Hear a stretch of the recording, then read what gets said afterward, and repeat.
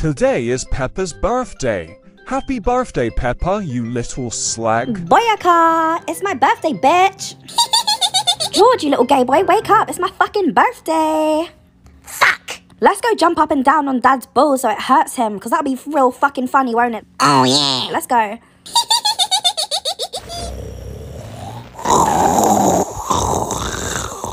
Wake up, you cunts! It's my fucking birthday! Oh, fuck. Oh! Boyaka!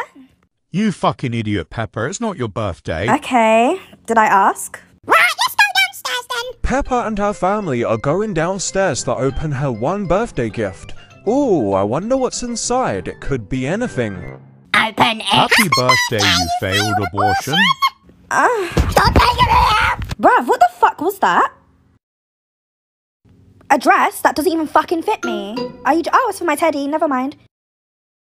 And that's it. My only gift. What a bunch of cheap little fuckers. They got you only one gift and it wasn't even for you. It was for me, your teddy. Teddy, don't be rude, you little cunt. What do you mean, Peppa? I'm just a teddy. You're the one who said it. Anyways, I think we should burn the whole house down with the family locked inside. What do you think? Teddy, that is enough.